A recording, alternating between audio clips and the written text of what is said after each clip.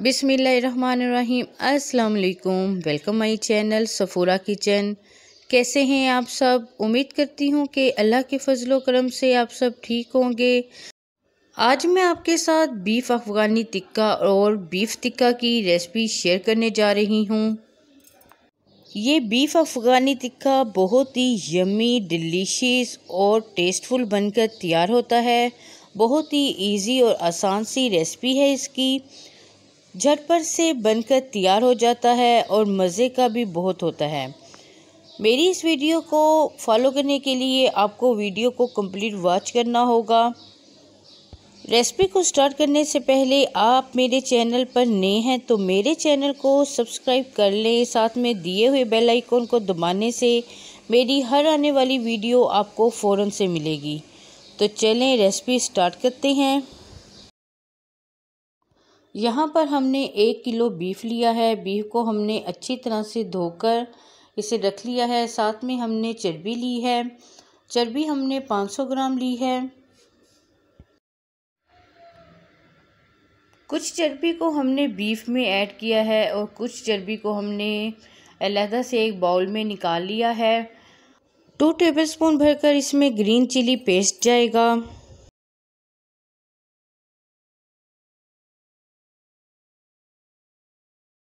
अब जो बाकी के स्पाइसेस हैं, इसमें एक घंटे के बाद हमने ऐड करने हैं। बीफ अफ़गानी टिक्का में और स्पाइसेस ऐड नहीं होंगे, लेकिन बीफ टिक्का में कुछ स्पाइसेस हम ऐड करेंगे। अल्हम्दुलिल्लाह से हमें एक घंटा हो चुका है इसे रखे हुए। साथ में दो से तीन टेबलस्पून भरकर इसमें हम लीमू का रस ऐड करेंगे। टू टेबलस्पून सिरका टू टेबलस्पून सोया सॉस जाएगा। वन टीस्पून नमक ऐड करेंगे। इन तमाम चीज़ों को हमने अच्छी तरह से मिक्स करके एक घंटे के लिए रख देना है। वन टीस्पून सूख मिर्च पाउडर, वन टीस्पून कुटी हुई बेर मिर्च, वन टीस्पून सूखा धनिया पाउडर, हाफ़ टी स्पून काली मिर्च पाउडर,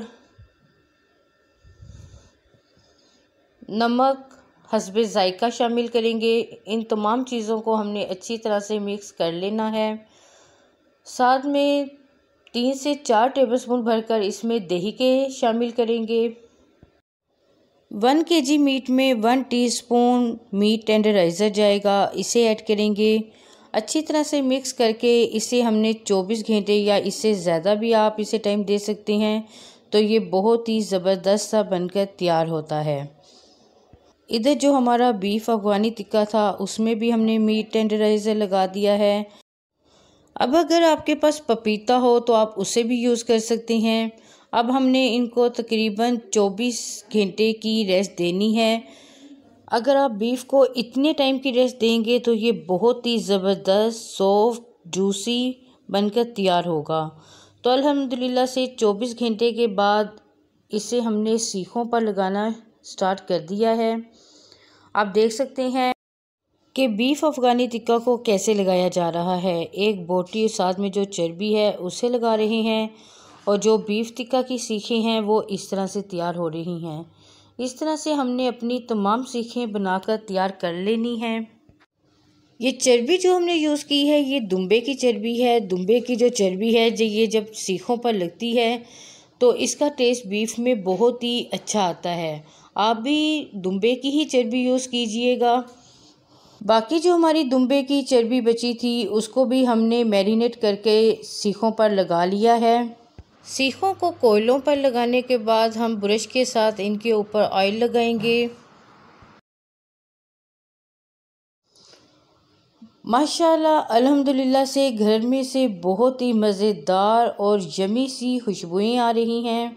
ये हमारा बीफ टिक्का बनकर तैयार हो गया है, जो कि बहुत ही जूसी सॉफ्ट और टेस्टफुल बनकर तैयार हुआ है। ये तो जब आप इस रेसिपी को ट्राई करेंगे तो फिर ही आपको पता चलेगा कि वाकई ही में ये कितनी मज़ेदार और मज़े की और फ्लेवरफुल रेसिपी है।